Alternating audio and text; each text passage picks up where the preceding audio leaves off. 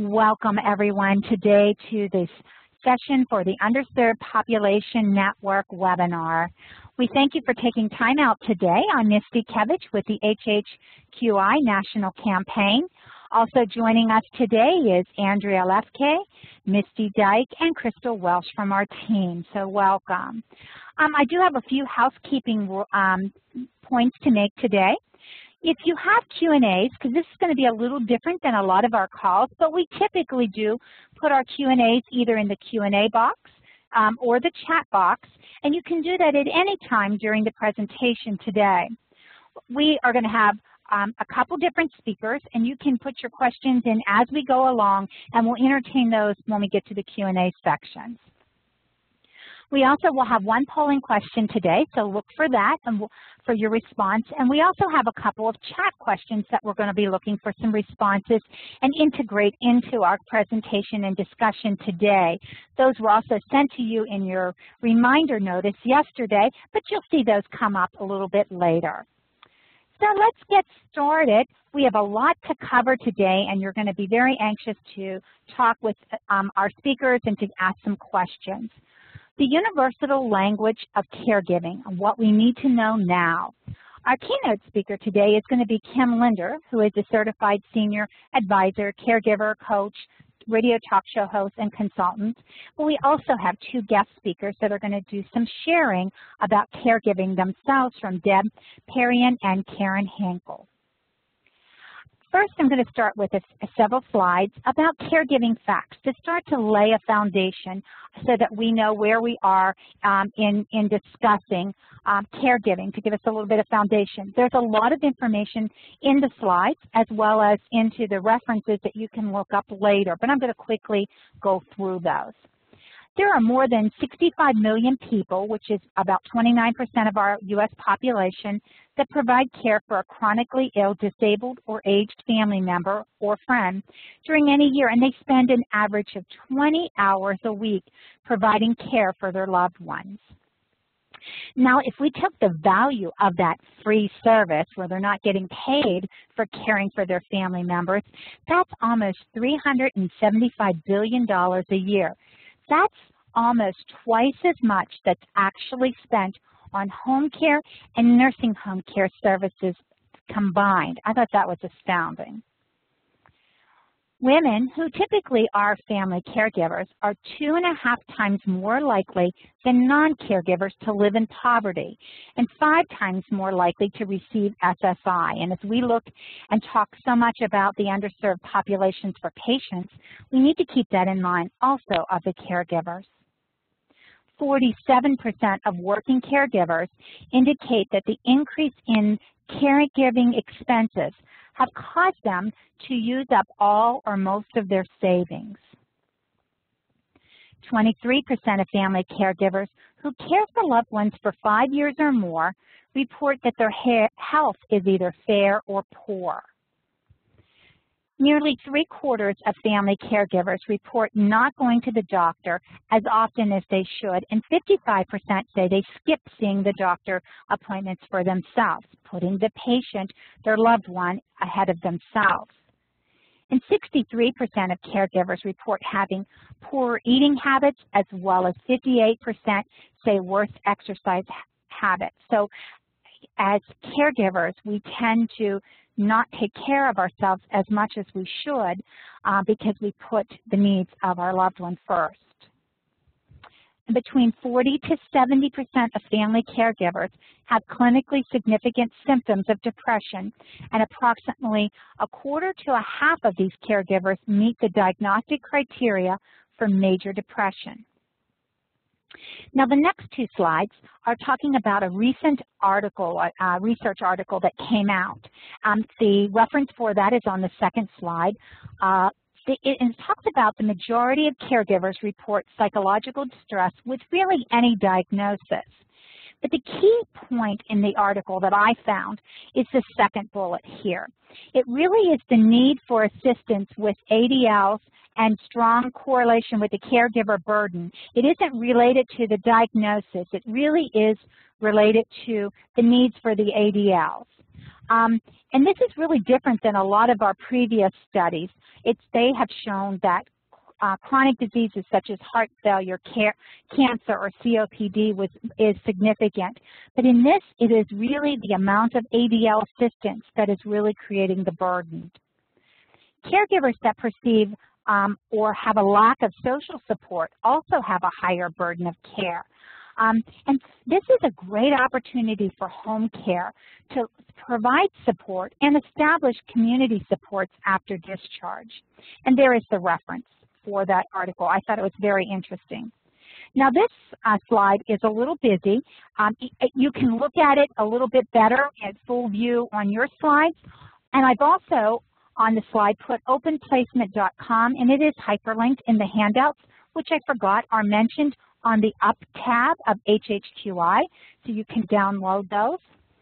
When we talk about dementia, it is dementia and Alzheimer's, any type of diagnosis. And I'm going to kind of hit a couple of these points, starting at the head, working towards the shoulder.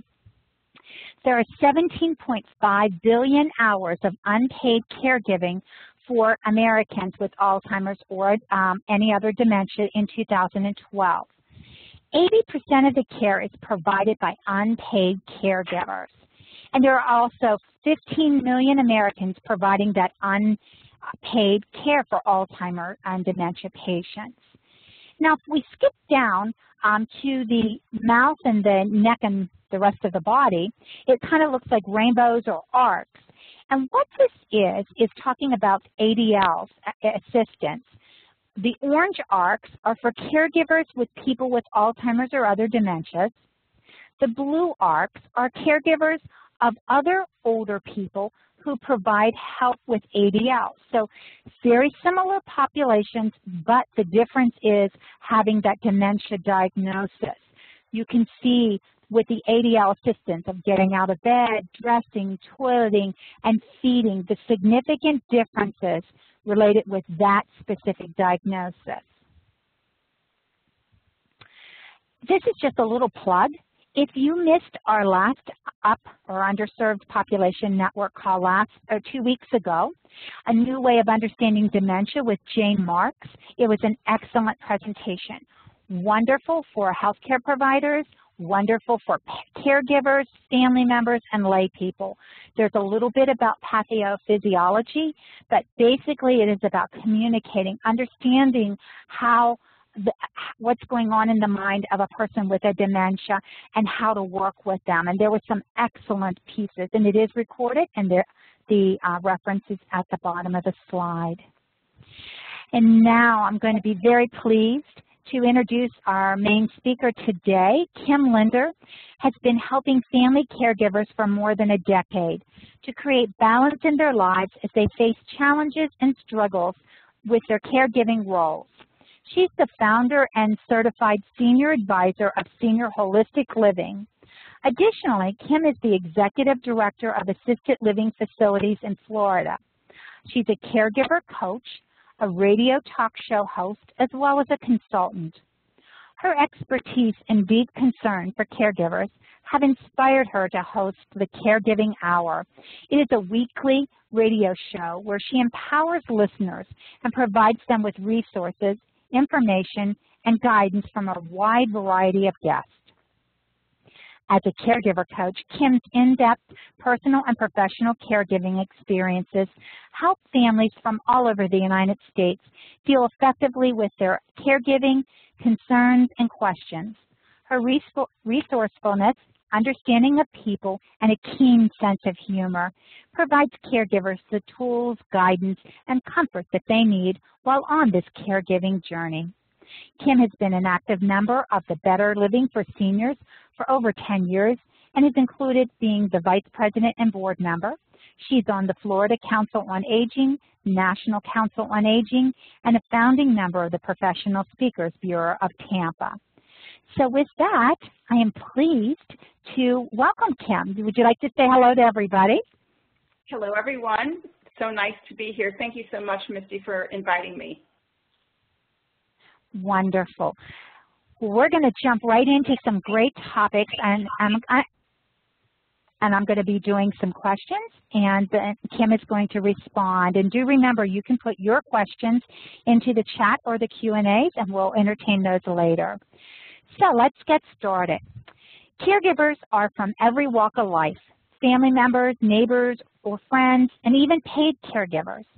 Caregivers many times have to juggle their caregiving responsibilities with their own lives, such as their own homes, families, jobs, etc. Life is stressful all by itself, but adding that caregiving role can place an additional stress on the caregiver.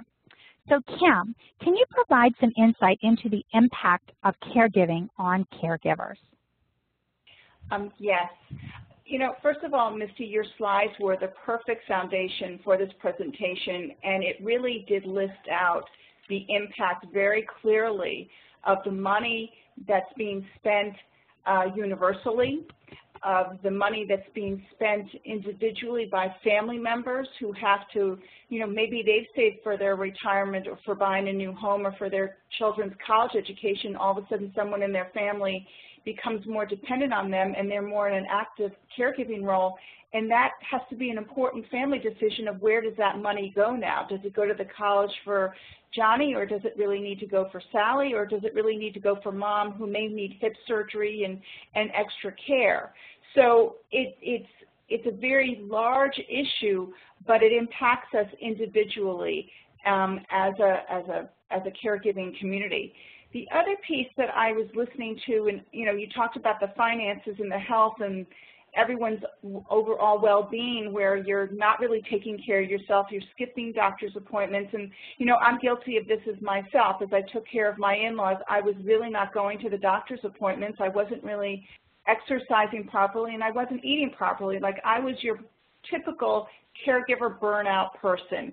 And so I, I think that I can, you know, when I'm on the radio, I feel like I make this very relatable and I really emphasize that it is so important to create that balance and, and that's really what, um, this is really my philosophy. But I want to talk to you about something else that has popped up that's really impacted the family caregiver, and that's the stress of them becoming like medical experts.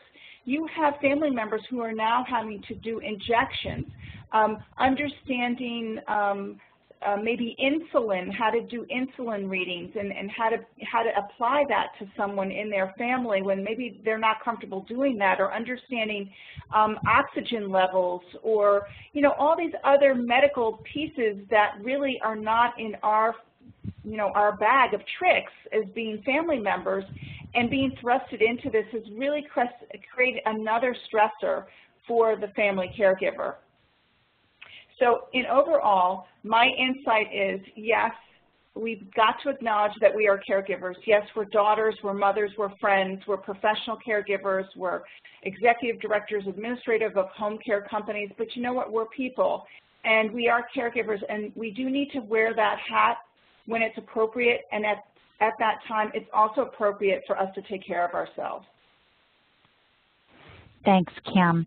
Um, absolutely. So now, let's talk about explaining the difference between family and professional caregivers and how sometimes we can be both simultaneously. Um, well, a family caregiver, in my eyes, is someone who is related to the person who needs the care um, in some way, shape, or form. Um, it, it, certainly can be a daughter, a mother, a son, a grandson, a brother, like I had a brother on the radio the other day because we wanted to honor the male caregivers um, and what they do for uh, family members. And so it's anyone, it could be a distant relative, it could be someone who was adopted or just kind of in, become a very close family, a friend who also has become like a family member. So to me, that's someone who kind of wears the family caregiver hat. Versus the professional, that is someone who I look to um, as all of us on this webinar today. We're all professional caregivers. We have this um, commitment to really taking care of people who maybe are not related to us, but who we care about because that's our heart, that's our soul, that's our spirit, that's where we feel purposeful. And we give because this is just who we are and we've decided to make a career out of it. So you're looking at doctors and nurses and people related and connected to home care and health care, but also in medical settings, in nurses, um, nurse practitioners, ARNPs, um, certainly physicians, they don't necessarily think of themselves as professional caregivers, but they are, they definitely are, and they have a lot of power in that. Um, we're also talking about geriatric care managers and, and elder law attorneys. So to me, there is a divided line, but the heart and the, the, the passion for how we act as caregivers, to me, is in, in total alignment and universal. Great. Now, we have a polling question for you, and Misty Dyke's going to be putting up a polling question for you to answer, and it's, a, it's about yourself. So do answer this. It'll just be up for a few 15 seconds, so please go ahead. And while you answer that, and we're going to come back and take a look at the answers in just a minute, I'm going to go ahead with our next question. There we go. Um, what are some of the issues and tips when we struggle in being a son or a daughter in the role of being a caregiver?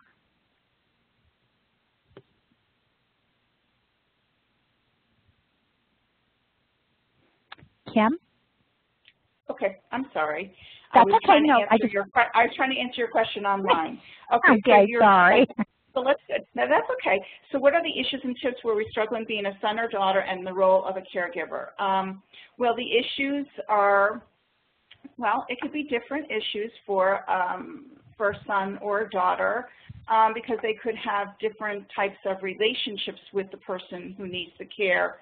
Um, and you know, maybe just just talking about a male caregiver, they may not be comfortable necessarily giving the hands-on care that a daughter may be for her mother, where it's really not an issue, but for the son, that could be a little bit of un uncomfortableness. So I think that sometimes um, a son who has to take care of his mother may need to get some extra help in the home in order to just kind of take care of that more of that hands-on care. Is that what you're asking about?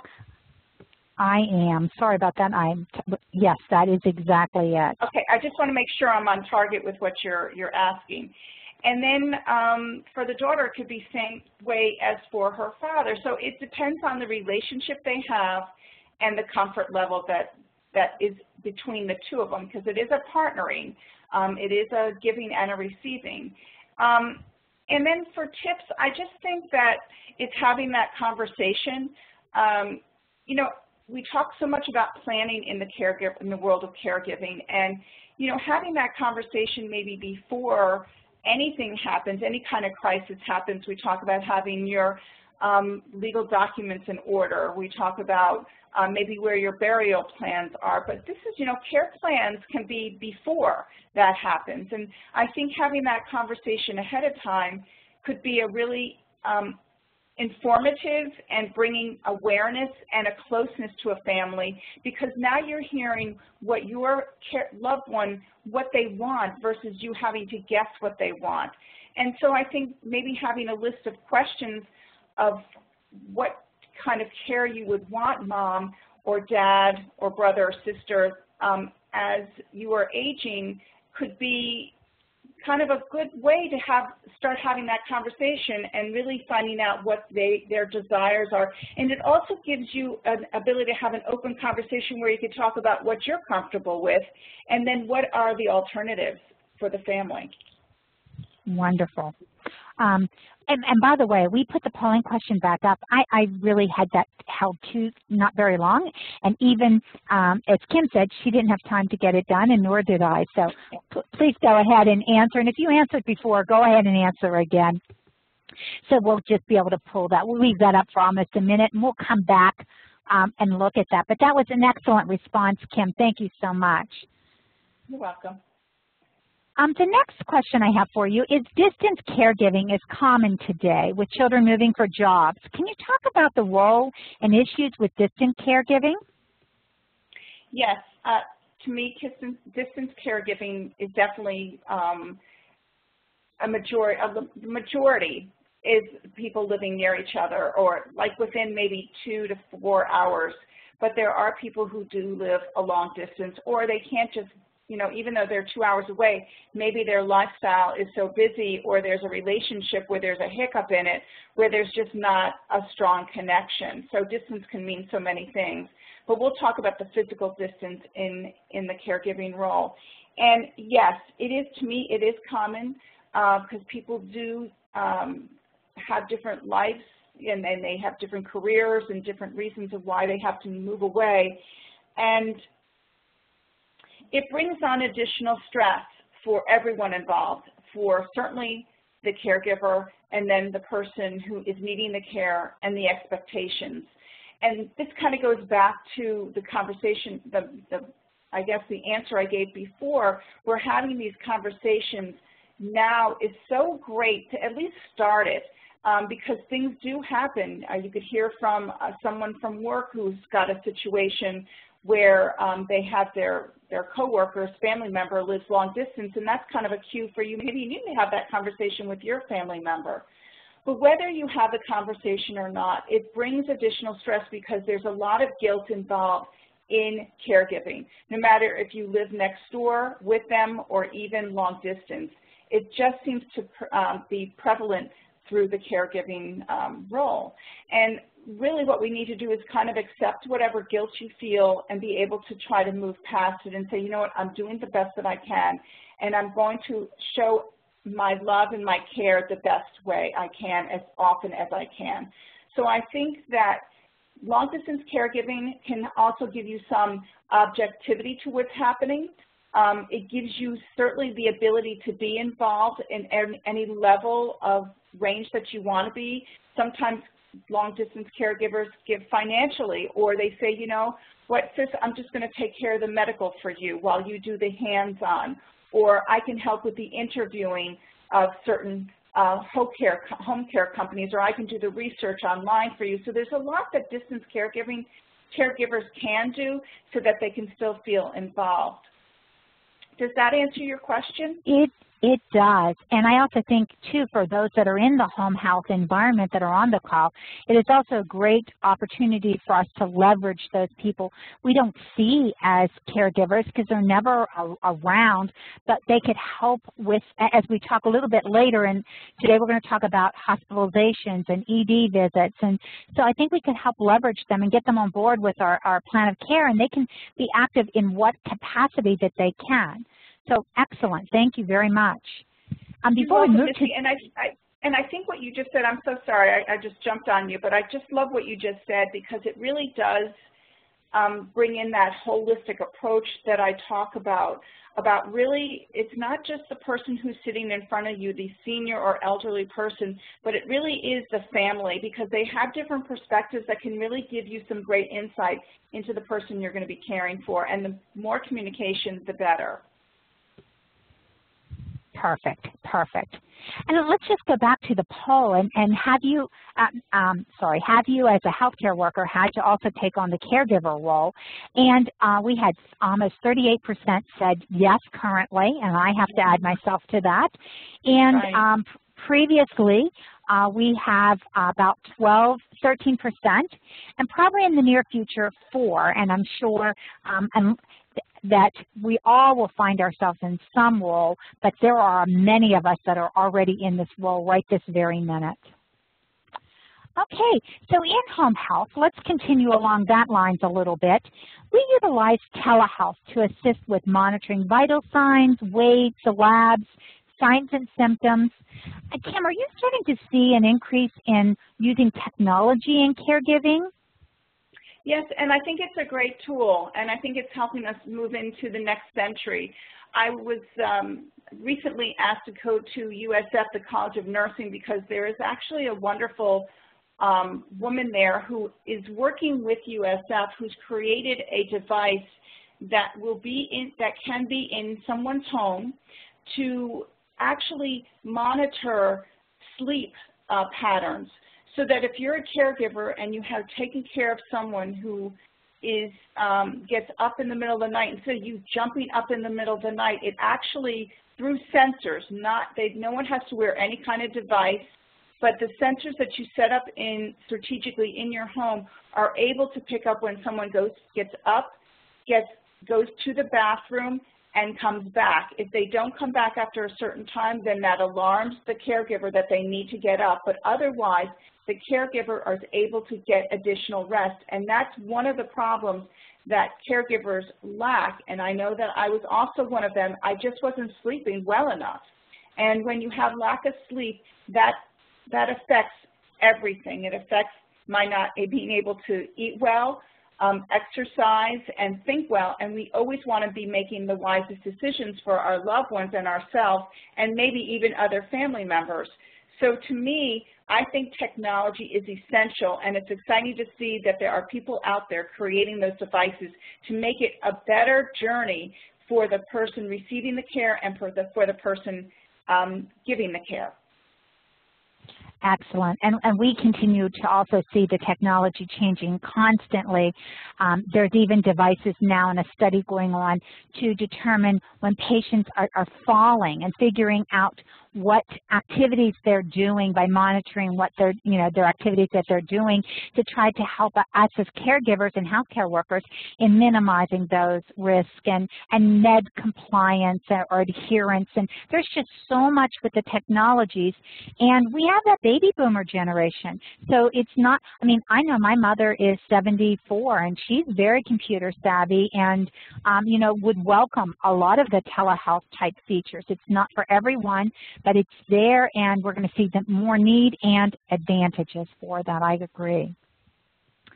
So let's move on to another topic that's very interesting. Um, can you explain about holistic support and why it's important for caregivers?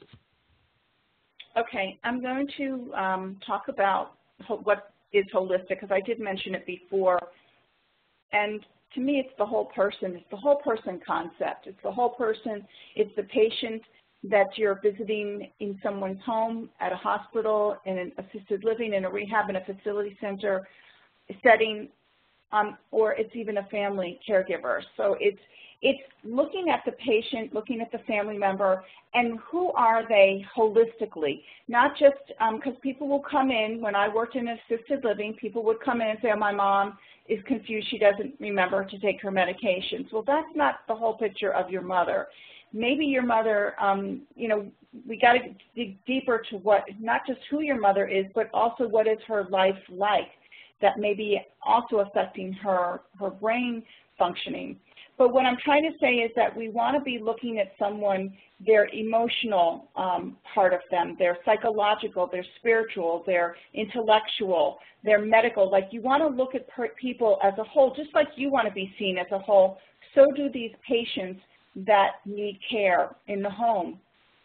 And so to me, it's really, if you understand, if you do your discovery where it's more of a holistic approach, uh, getting deeper and digging maybe wider into why someone is needing care or what excites them, what motivates them, what makes them feel purposeful, I think we will be more successful in our journey as, as caregivers, um, whether we're professional family caregivers. And I think by seeing someone as a whole person rather than just this one small segment of mom is just getting confused about her medication or mom is is depressed, it's just limiting. And I want to always be thinking expansively and abundantly. And I think if we come in with that attitude, we end up really engaging that person who needs the care on all different levels and making them feel seen and heard and really feeling a, still a sense of purpose at any age.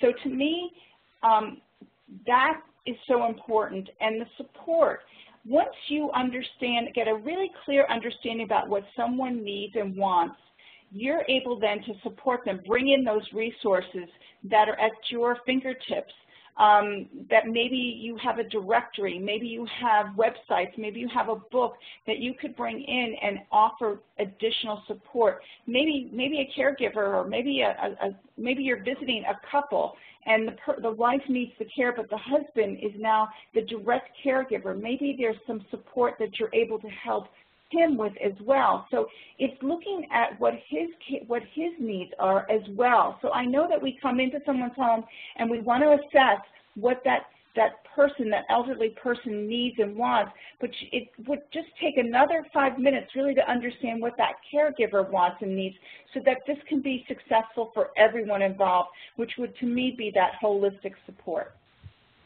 Wonderful. I, I great advice and, and for us to think as we do provide that holistic health care to the patients. Thank you. Okay, so now let's kind of talk about what we can in home health do better and how we can collaborate better. So when home health clinicians visit, Kim, it's typically about 45 minutes or so. We tend to focus on the patient's needs and concerns, and you know what? We may overlook the needs and issues of a caregiver um, who's really going to be supporting that patient for the periods of time and even 24 hours a day. Uh, what are some of the top issues and barriers a caregiver may have that we as providers might miss? Um, this kind of is a perfect link to what we just talked about um, with the holistic support. And turning, you know, a caregiver is not expecting a professional caregiver to turn around and say, so, Mr. Jones, tell me, how are you doing? They'll be surprised. So that's even just a nice thing of just being noticed that you know, it's not all just about your wife, which, who he may direct everything to, but it's really nice if we as professional caregivers can say, you know, Mr. Jones, we're so happy to be here with your wife and seeing her needs, but I'm just wondering, what do you need?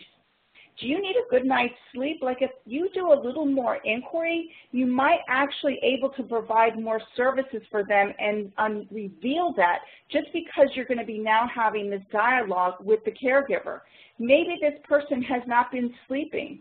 Maybe they haven't been eating well. Maybe they um, need additional respite where they maybe maybe there's an event going on, a graduation or a wedding that they would like to go to, but you would never know if you just go in and talk to the person who you've been assigned to care for. You really you really will be making a difference if you take that time to turn around and just look at them and ask them, how can I help you? We do things differently as a home care company. Of course we want to take care of your wife, Mr. Jones, but you know what? We think about how can we take care of you too?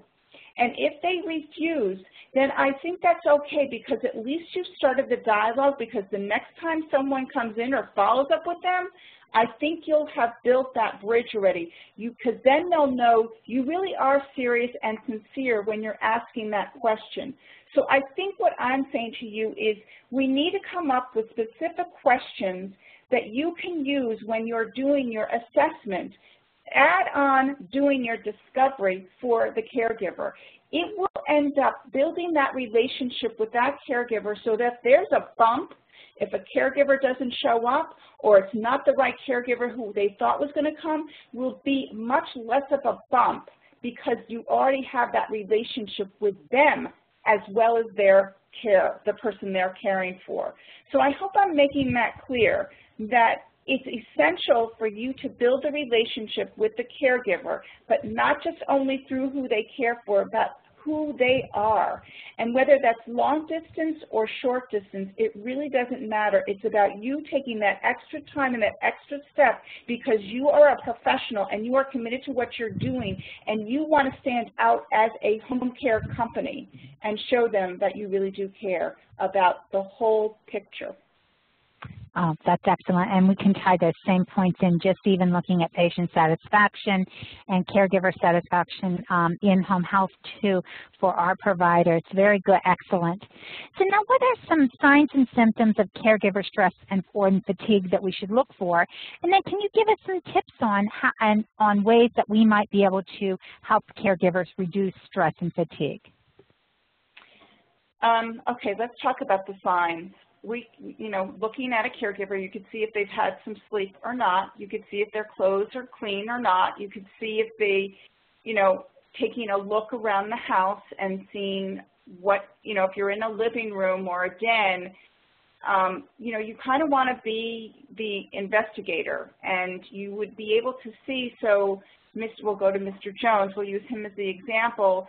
Um, you know, are you, you know, are you, how are you doing with the laundry? How are you doing with getting your medications on a timely basis? Like I think that we've got to really look because they're so wrapped up in taking care of their loved one that they sometimes they neglect themselves like we talked about and they don't realize how obvious it is. But for you coming with fresh eyes coming into the home, you can see that. So I think the fatigue is written all over their face. And you also can see about their weight. Is their weight a good weight or not a good weight?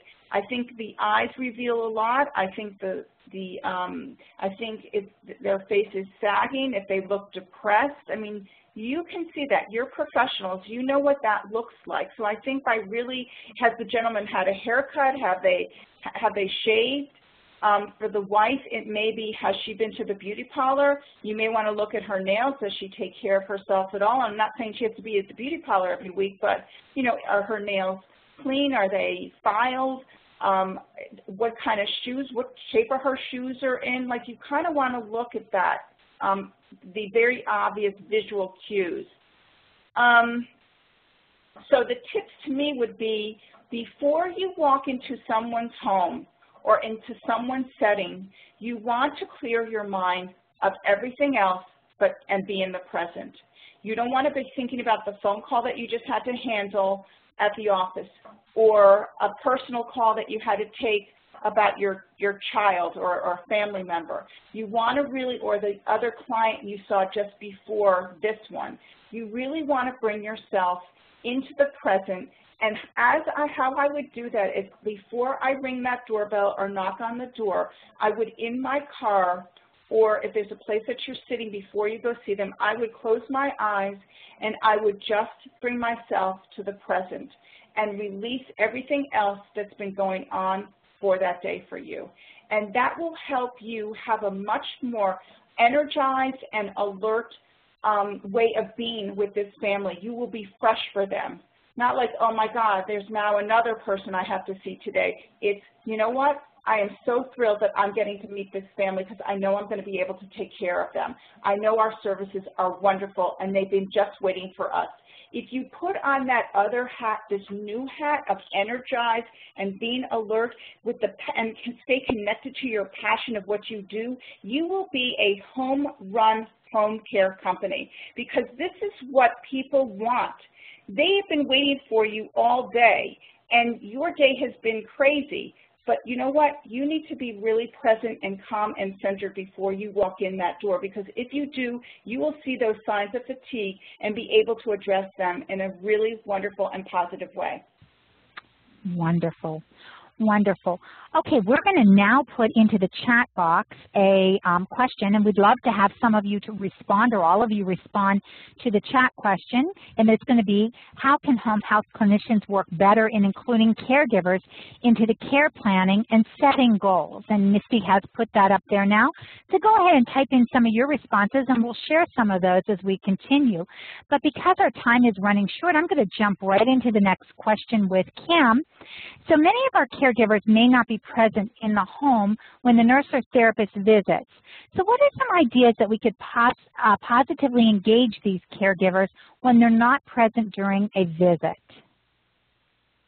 Um, well, the first one, you know, really is the communication um, because when they're not there, they're worried about not being there. And if we were to think about their their state of mind and wanting our goals to bring them peace of mind and at ease, then we really do need to communicate with them. And it really would be nice, and I've seen this before, there's books that and journals that home care companies leave for the family caregiver to read. I, I think that's really great, but I think maybe you may want to add some additional detail um, to that, whether, um, because I think if I'm not a caregiver and I can't be there, I really want to know what was mom's day like.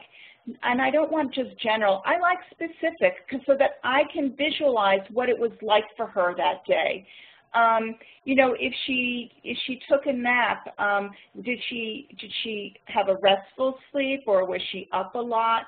Um, when she watched the movie with you, was she laughing during the movie or crying during the movie? Like people want additional information. So I think the key really is, again, continually building that relationship with the caregiver and, and communication, whatever way that is, whether it's pictures, whether you cut out, you know, a caregiver, professional caregiver from a company cuts out pictures and puts a scrapbook together, a little, you know, something not professional, but just something that's really cute that shows that, you know what, we really had a great day today. Your mother did really well.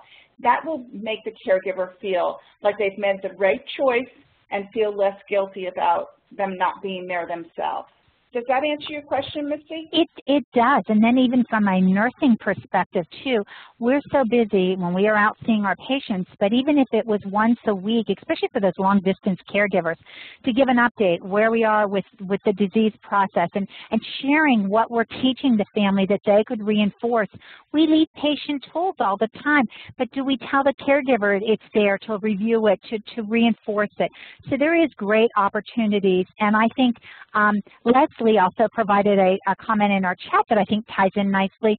During um, admission, it's essential to obtain the emergency contact information of someone who does not reside with the client and to provide infor additional information about how life was before the patient. So we can mm -hmm. learn as healthcare providers from, the, from that interaction, but then it also is developing that trust and relationship um, and a great opportunity that you had mentioned before, Kim. I, I, I love what she just said because it, it makes me think again, even if there's articles that you're reading, send them to the caregiver. They would love to think, oh my God, after hours this woman saw an article and she thought of sharing that with me. How kind. So I'm just saying that by learning someone's um, also by learning how someone's past is, there could be someone else that you know that also was a newspaper reporter or was a nurse in the hospital. Like there's so many ways to connect with people, but you have to do your discovery. So again, just the discovery for you know the whole family, but also that discovery for the the patient or the client that you have, and then helping the caregiver knowing that you're there for them also is very important. So I love what she had to say. Great. And that actually ties in, um, and we're going to kind of wrap up this section here just uh, uh, with this last question here. We're working a lot in reducing admissions or rehospitalizations. It is a national priority. Um, so there are many best practice and evidence-based strategies home care agencies, hospitals, physician practices, can and are using, but our rates are still high. And we really, I think, have not taken advantage of the caregivers to help us in assisting in reducing hospitalization. So um, Misty Dyke, if you'll please put that uh, pose a question in the chat box, and we'll come back and take a look at some of those responses um, as well. And if anyone has any Q&As uh, for our speakers, we're going to go ahead and post those. We'll address those in just a few minutes. But back to the acute care hospitalization, um, is there anything that you think that we as professional caregivers could help um, caregivers keep patients out of the hospital? Okay, it's it's a big question. It's a big question. Um, I know, and it's a big question, and it's so it's so important because that definitely is the trend that's happening now. Um, ask me the question again so I can really okay. I'm. Yeah, and I'm sorry. I was trying to. Um, there are many many best practice practices to reduce hospitalizations. So, what yes. role do you think the caregivers have in assisting with reducing hospitalization? Okay. All right. I think caregivers don't know how to approach discharge discharge planners. Um, they don't know necessarily who they are, you know, where they are in the hospital, um, what services they provide. Like, I think that the discharge planners have really, it's their responsibility to connect with the family member and with the patient. And I just think that now what has happened is that the burden is now shifted to the caregiver or the patient to find and seek that discharge planner or social worker. And it's, I'm not saying it's anyone's fault, it's just, it's a, it's a disconnect. And I think it's so important that the caregiver now feel empowered to search them out in the hospital and build that relationship with them the first day or two days that their loved one is in that hospital. Because if you do, they, would, they are your new best friend in that hospital. And they are the ones who can really help guide you to what are the next steps or having that conversation. Maybe you're not sure. How do you know the difference whether your mom should go home or should go into an assisted living with some additional care or just go home or maybe move to your sister's? You just don't know. So I'm saying to you is that caregivers, the message needs to be so clear that they need to feel empowered and have the permission to seek out who is my discharge planner and set up that appointment. If you can't find them, leave them a note under their door find a way, have the director of nursing help you. There are resources for you in that hospital who are supposed to guide you on what are the next steps. And they have resources because a lot of home care companies and different um, facilities have come to the, to the discharge planners to be able to tell them the services that they have so they can share that with the family. So again, it's really now the caregiver who is really responsible for getting that done. So right. they've got to Very be really assertive and, you know, get brave, put their brave face on and go and do that because they have to feel connected to that passion that I need to be in charge and be advocating for my loved one, that there's no one else who's going to do it like you. Great. Now I have two quick comments that I'm going to cover before we kind of move into our other speakers, and Kim will come back uh, with some Q&As and ask you for just a closing statement in just a few minutes. Uh, first from Beth, uh, what are, it says to ask the caregivers what their expectations are from home health, because they may totally be wrong on what the, uh, where they're coming from and wh what we're able to provide. Explain what they can expect from you, your agency, share tentative plan of uh, your plan of care and goals and ask them to gain their agreement. Provide specific examples on patient's diagnosis and what they should call the home health agency for and let them know that signs and symptoms that they may experience with caregiver burnout to report. Excellent.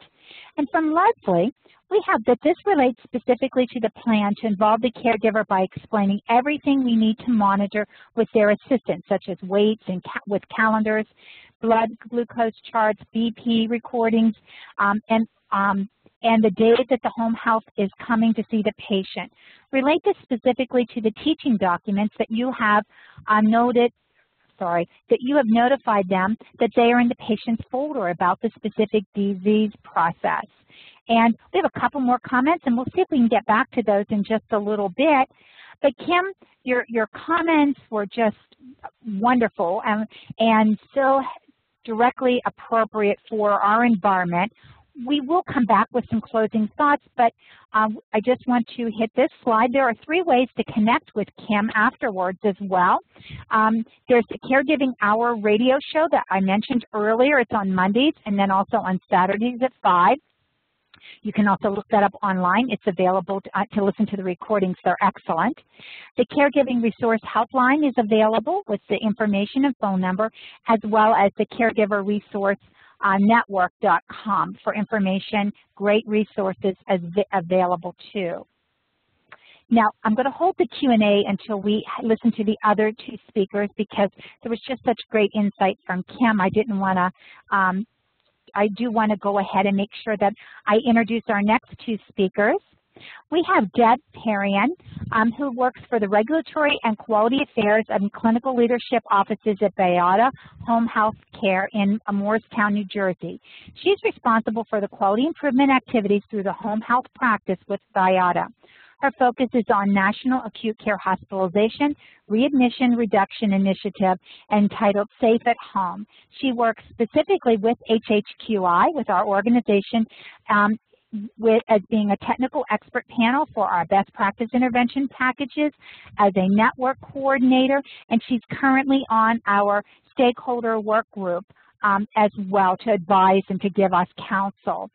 She has been a member of the New York, New Jersey Care Integrated Integrations Advisory Board, um, as well as the presenter for, for NAHC and the Case Management Society of America. She's certified as a professional healthcare quality expert through the Healthcare Quality Certification Commission and has earned her green belt in Six Sigma from Villanova University in Pennsylvania. And Deb, would you like to share some comments of being both a professional caregiver and an actual family caregiver? And Deb, you might be on mute. Thank you. Yes, I was. I am so sorry. Yeah, here I am, yakking away, and and and nobody there to listen. Okay, so um, so my mom is 97 years old, and she's been with me for the last four years. Uh, it's been a blessing. Uh, formerly, she lived in Florida, and my son lived only a mile away from her, and so I was comfortable with him being with her and, and there for emergencies. Uh, but then he moved to the west coast of uh, Florida, and we sashayed her um, to to New Jersey here with us. So I guess when we're talking about challenges, and, and I've been listening intently to, to the things that have been said, and you know, it is just so difficult to separate myself from the nurse and the daughter that's been my biggest, biggest challenge. Um, you know, I'm constantly assessing her and diagnosing and, you know, looking at every little nook and cranny um, because I'm afraid that I'm going to miss something.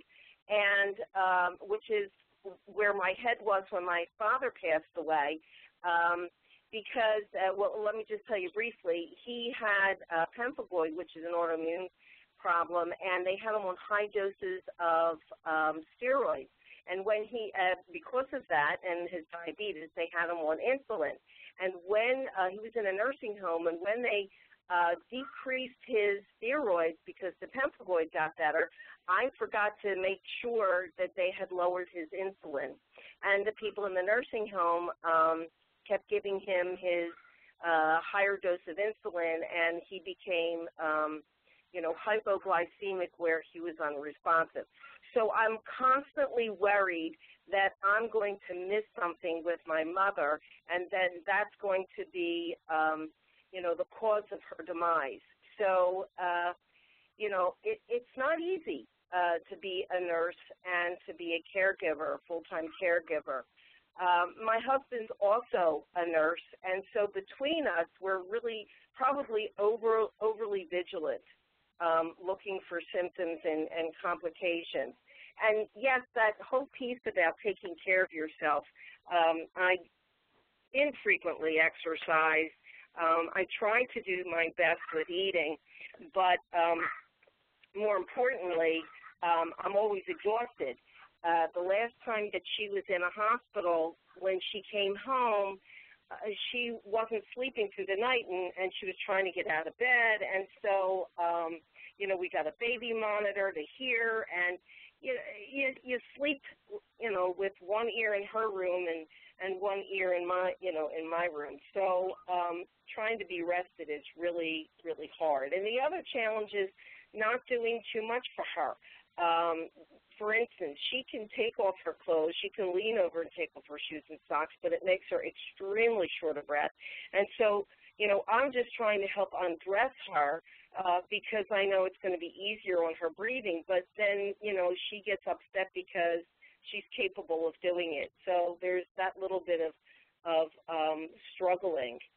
And um, lastly, there's this emotional piece, um, this conflict in my head because I'm the youngest of three girls, and uh, and I get absolutely no assistance at all from my two older sisters because uh, they say that I'm the nurse and I'm the one that should know what they're you know what should be done. So um, it becomes a, a little bit of an emotional problem.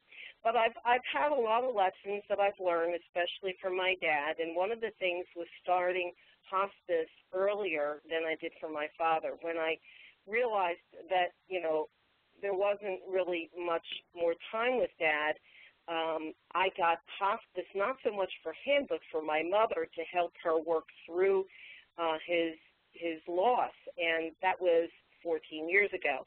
So now mom's 97, and the hospice is really probably more for me to help me adjust um, to the inevitable loss of my mother, um, which is going to be absolutely devastating for me because I've had her with me 24/7 for these last four years.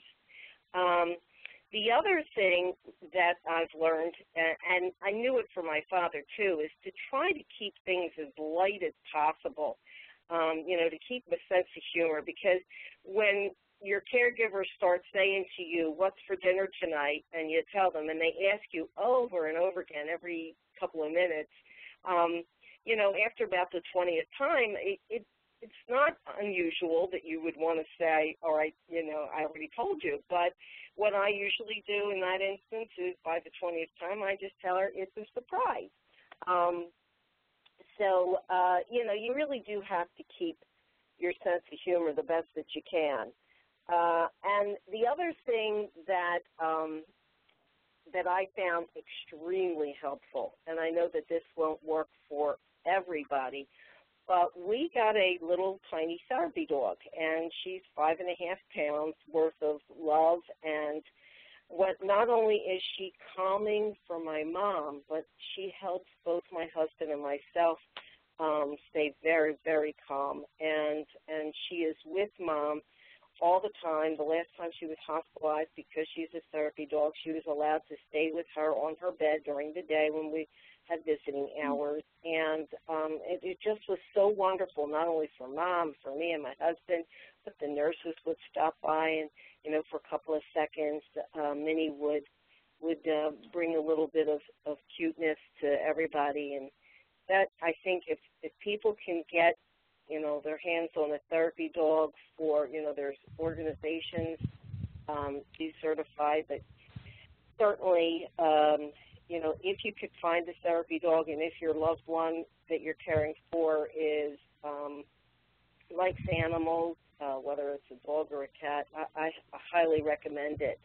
Um, and as far as uh, high points and opportunities, um, you know, talking with my mom is awesome. I'm still fortunate that she does have some memories of her youth and childhood, and I have a video camera actually set up in her bedroom because she's most talkative in the early morning, well, not early morning because she never gets out of bed till about 1.30, uh, but when she first wakes up and uh, before she goes to sleep at night. So, um, so I put the video on, and it'll be something I'm sure that I will treasure for years, and uh, and that's an awesome thing.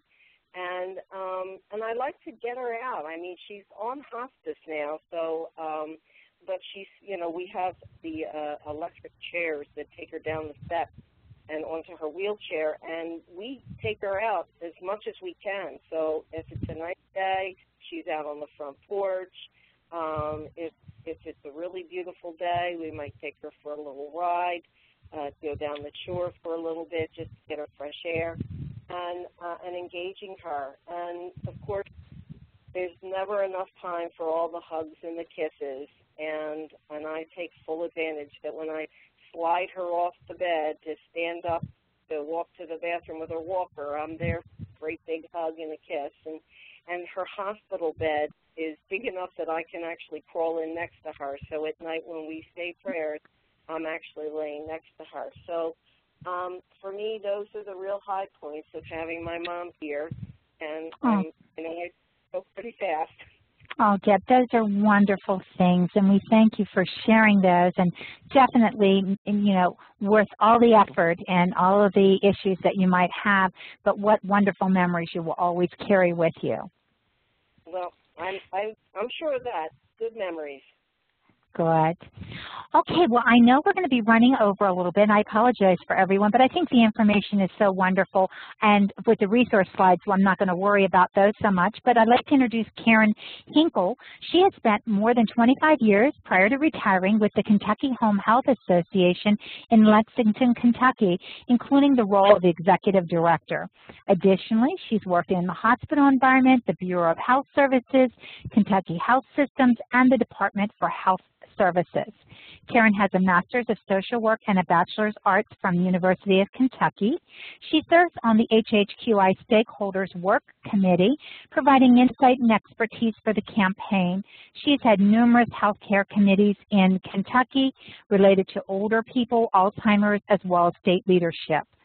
She has served on various community boards and volunteers in her community.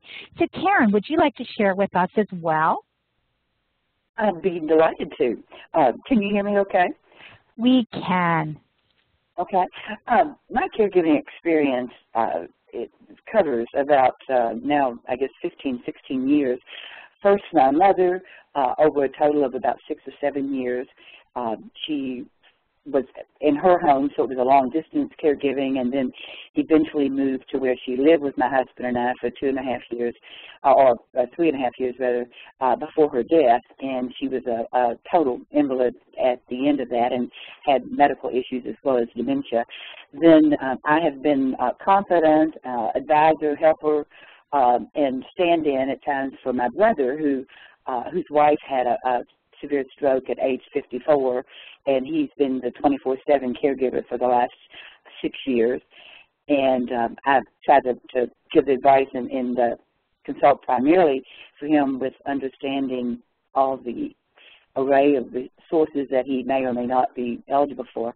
And then the, the most recent is with my 87-year-old uh, father-in-law, who uh, is still living in his own home that has serious vision issues and some other medical problems, and he has lived with us for short periods after surgery and after uh, a broken hip. So I've, I've, sort of gone the range. I think the couple of key things I'd like to emphasize, and, and I think Deb uh, made some important points as well as Kim, is that you know, the caregiving array of, of involvement can vary from as simple as doing grocery shopping and maybe paying bills at the beginning to moving to being full-fledged, uh, providing the total care, uh, all the ADLs and, and, medical care and managing it all. Um, and, and, in my experience, the caregiver has to be uh, an organizer extraordinaire.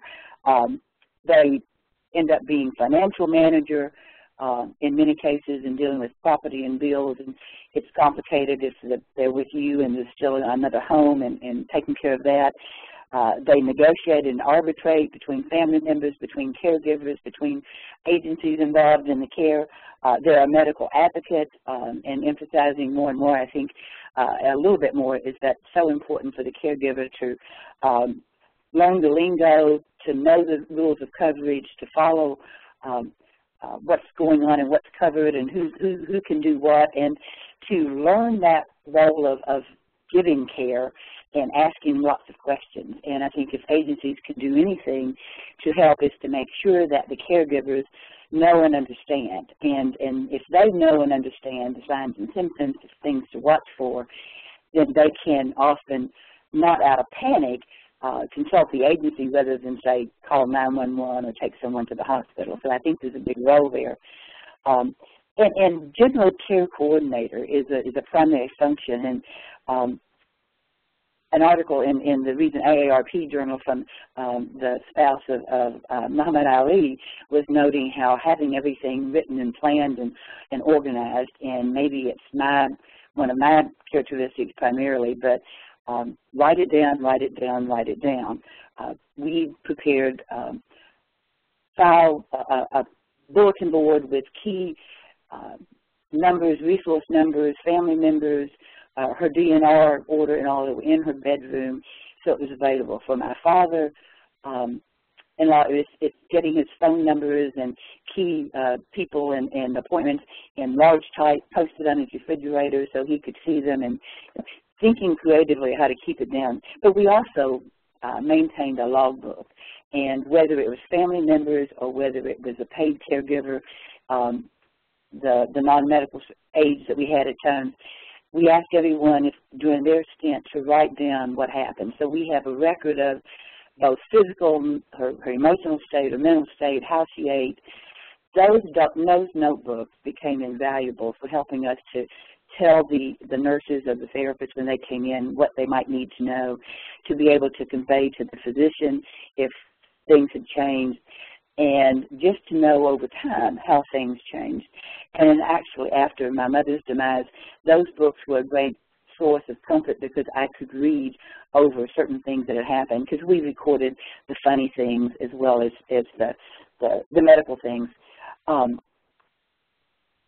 the uh, the one thing I learned, and, and, agencies might not want to hear this, but as, as wonderful as caregivers are from agencies, you're one of many that they're serving. And they're often there for 30 minutes, 45 minutes, maybe a bit longer. And the caregivers, if they're involved, are involved 24-7, day after day after day after day after day. So you can't expect that an agency personnel is going to have your back. They may in many ways, but I think you have to be as caregiver as prepared and knowledgeable um, as you as you can be, uh, because the agencies may help you with identifying potential other resources, um, but you're going to be the one who's going to have to follow up with them. The fact that someone says, I sent a referral to this and such agency, or this document was sent to them, doesn't mean the person who needs it gets it. And so you have to be willing to be uh, a strong advocate and to make those follow-up calls and make sure you get everything you need because not only do you need the health care that the agency, the home health or hospice are doing, but you need perhaps help with meals. You need some help with maybe prescriptions. You need um, homemaking help that may be there available. You need to deal and know the regulations for the non-medical care and where you can get those. Uh, who's going to handle those things? Um, you know, clarifying in terms of, of certain specialized equipment. And, and I learned too that in dealing with the non-medical caregivers that we had to have, because during my mom's time I was working full time, is that you have to also be educator and trainer because even though they're prepared for the basics, you've got to prepare them to know the specifics about your care receivers' needs, uh, idiosyncrasies, if they have vision issues, if they have dietary issues. Uh, so I prepared you know, a training sheet and knew that I would have to spend the first half an hour with anyone coming in to relieve us so that we could go out for dinner or go to a family event, that I had to go through all of that with them so they were comfortable and I was comfortable. Now, in every case, you might not have to, but my mother at the end was, you know, legally blind, uh, deaf in one ear, and, and totally incapacitated. The only thing she could really do was feed herself. So I had to make sure that everything was covered.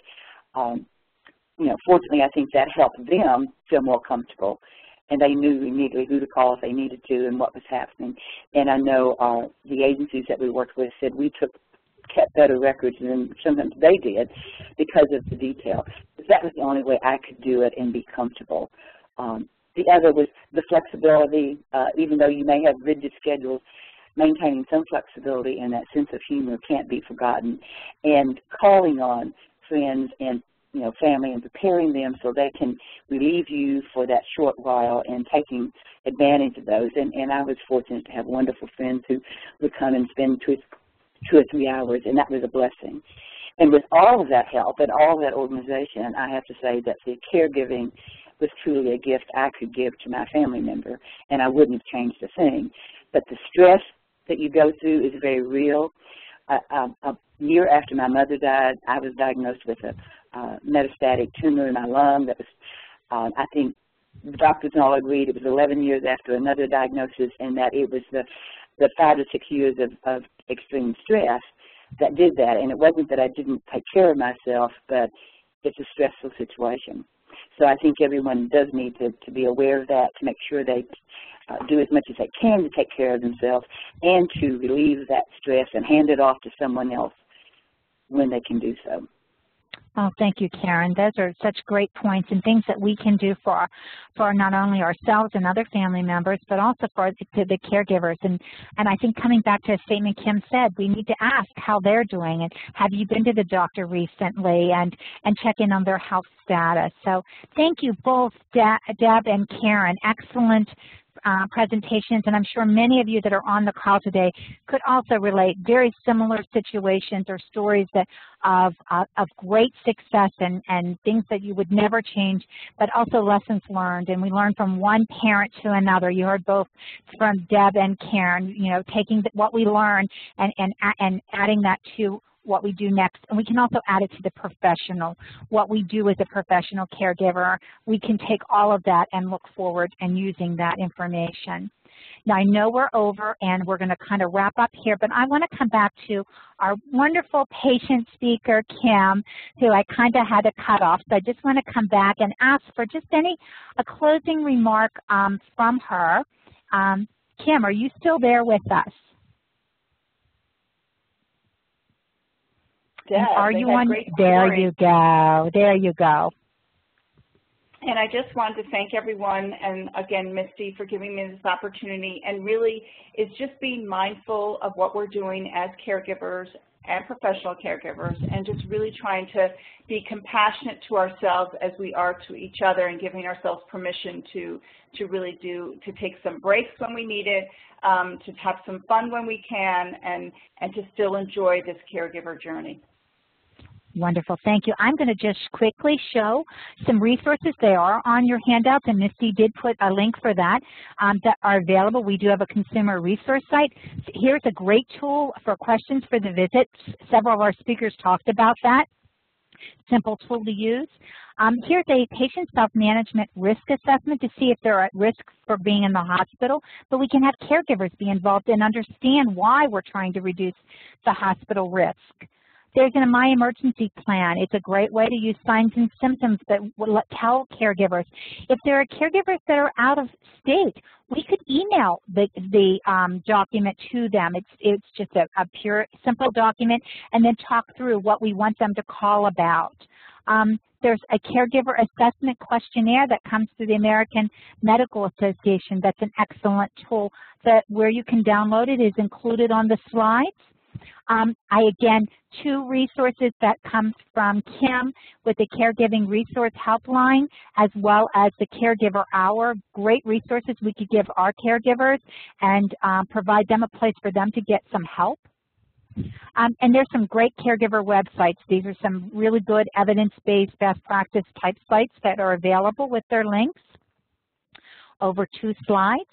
Our next up call will be in July. We will only do one during the, the summer months, so July 9th, and it's on population health management for, from the home health perspective. And Sharon Fisher, who did uh, work with the Blue Cross and Blue Shield and a home care agency, is going to be sharing some of their successes. Uh, we have live chat. You're always welcome to ask questions. There's no audio. You just come on. There's a link that you can sign up for a reminder. It's July 20th. You can always connect with us. We do have an evaluation at the end. We really do value and we look at all of the feedback. The recording will be up tomorrow um, by noon for you to share with anyone else. And we really want to thank you for your time and for your extra time today for this wonderful topic. And I, my heart just goes out to each of our speakers today in sharing their, their stories and their expertise um, that hopefully has enlightened each of us as professional caregivers. So with that, I hope you have a wonderful afternoon.